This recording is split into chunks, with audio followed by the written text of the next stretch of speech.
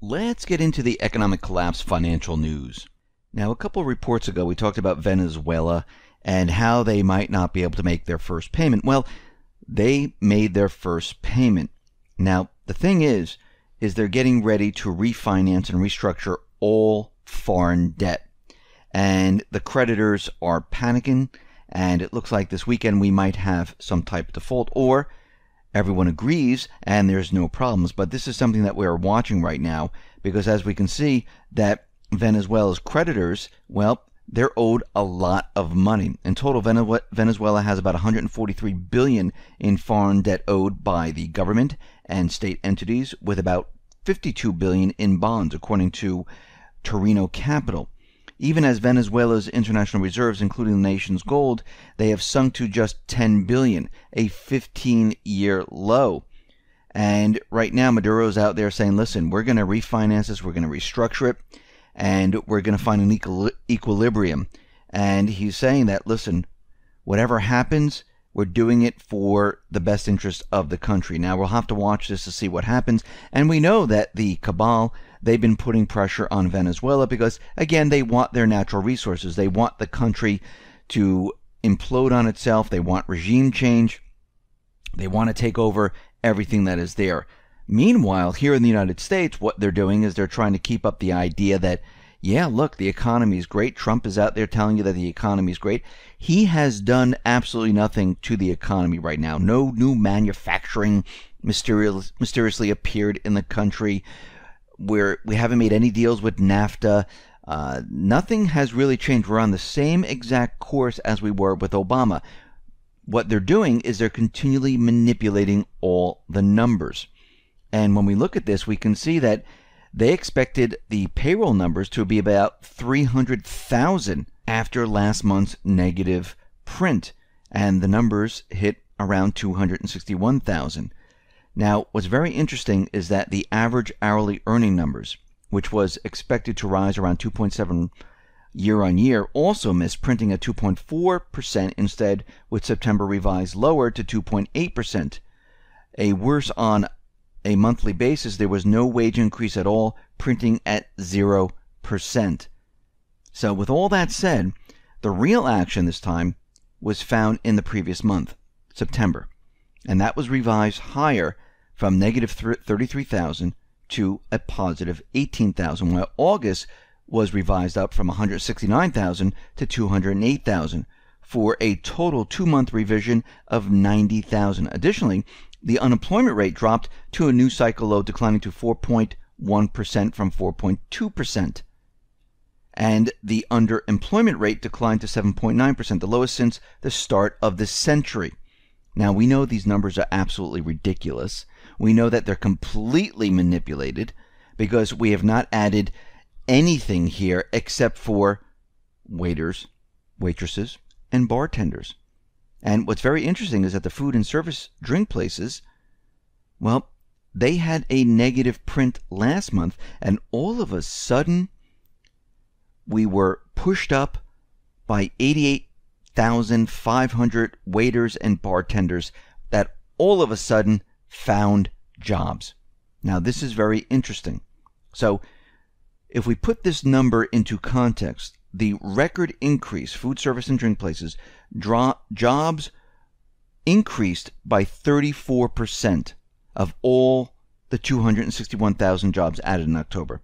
Now, this is all very interesting because when we look at the retailers, and we're approaching the holiday seasons, retailers cut around 8,000 jobs right before the holiday season. Now, normally they're adding on like crazy.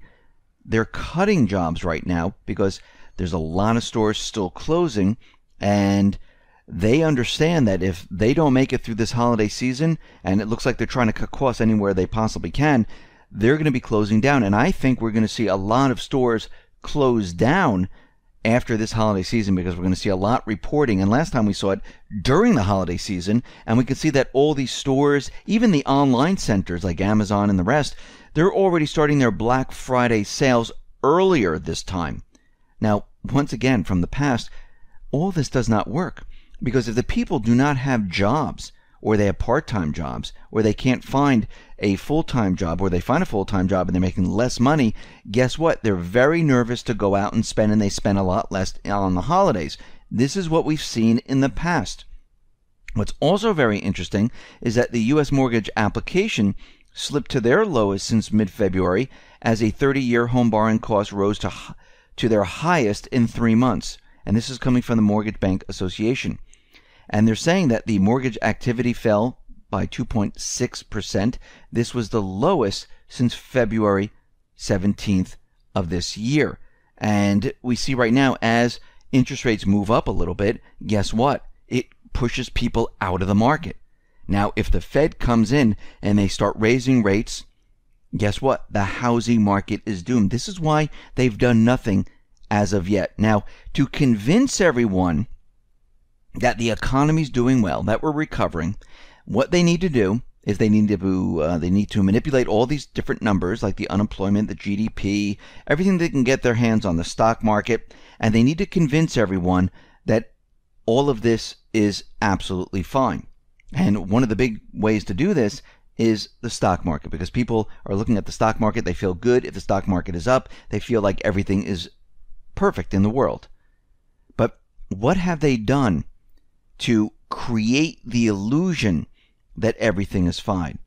Well, in the third quarter of 2017, one in which the global economy was supposedly undergoing an, an unprecedented coordinated growth spurt, in which the central banks were preparing to unveil their QE tapering intentions, and we know that the Fed right now, they are going to start unwinding. It's a very small bit of unwinding they're doing right now. It's not even going to affect their their whole entire ledger of about 4.5 trillion dollars. But when we look at this, we can see that they need to pump up the stock market. How did they do this? Well, the central banks they went on a buying spree and they boosted the markets up. Now, this is coming from the Swiss Central Bank and they have aggressively bought stocks. 88 billion dollars worth of use, uh, U.S. stock.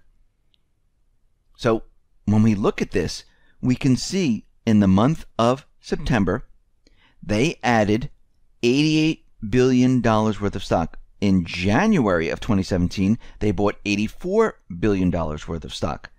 Now, they're keeping the market up.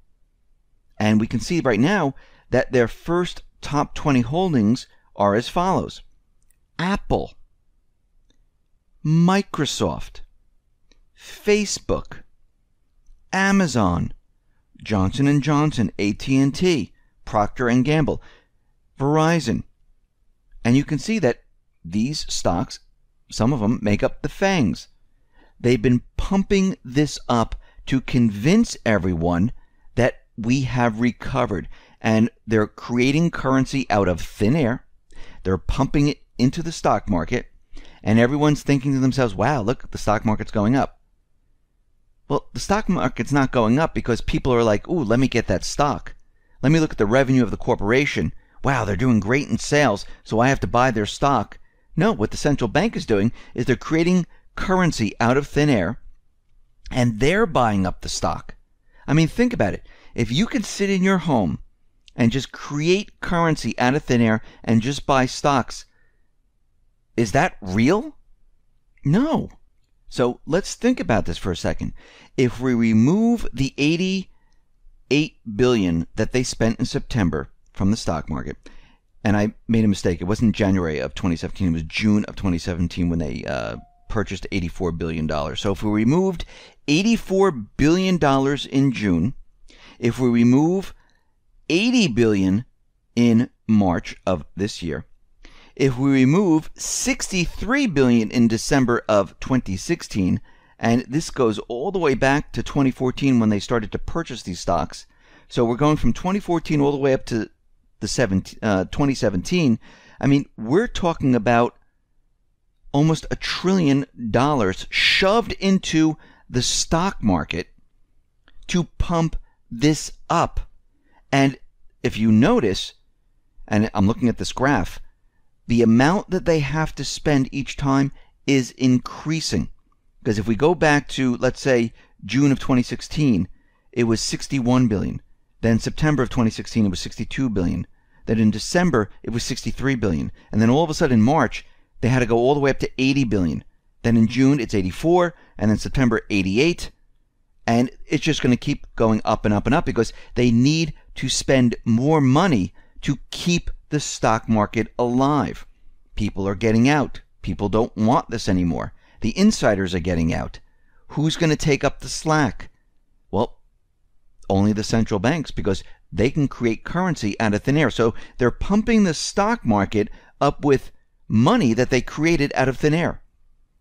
It's not coming from the public. It's not coming from institutional investors. It's not coming from anyone except the central bank where they can just create currency out of thin, thin air. They might as well just print, you know, a trillion dollars right now and just throw it into the stock market. That tells you right there and then it is completely fake, phony, and false. And when people start to look at this and everyone gets out of it, and this is why they're continually pumping in more and more of their uh, money that's created out of uh, thin air, I should say, currency that's created out of thin air, eventually people are going to scratch their heads and say, okay, this is getting ridiculous. I mean, they're almost up to 100 trillion, 200 tri- uh, 100 billion, 200 billion. Who's in the market anymore? Nobody. And this is where you're going to get a loss of confidence. This is where people are going to say, okay, something is totally wrong here. And this is when people are going to start saying, okay, I'm backing off. And this is where the economy is going to completely implode. When people start to lose confidence, they retract. And you're going to see this more in retail. You're going to see this more in housing. You're going to see this everywhere because just because they're pumping up the stock market, trying to convince everyone that the economy is doing well, people are going to get wind of this, and they've already started, and they're going to say, you know something? There's not many jobs out there. I'm a little nervous about my job. I'm not going to be spending on house. I'm not going to be spending on uh, gifts, and I'm not going to be going out to retail. And people start to, you know, hoard their money. This is what we've been seeing. And for those people who are trying to make ends meet, they're dipping into their savings, saying, okay, I don't have enough to pay off the credit cards. I don't have enough to buy the food. And this whole thing is going to come tumbling down. Now, the Fed, they understand this. The ECB, they understand this. This is why they're trying to keep everything status quo. This is why they don't want to make major moves because they realize they created this illusion. And if they do anything wrong, they will be blamed for it. And this is why they're tiptoeing around everything because they know if they raise the interest rates once, twice, three times, at this point, the whole housing market completely falls apart. We see it when it just ticks up just a little bit. All of a sudden, it knocks all these people out of the market. And this is why we've been saying get ready, get prepared, because you can see what's happening already when you look over time how much they need to spend to keep this system alive. Listen, everyone, thanks a lot for listening. Be well, be safe.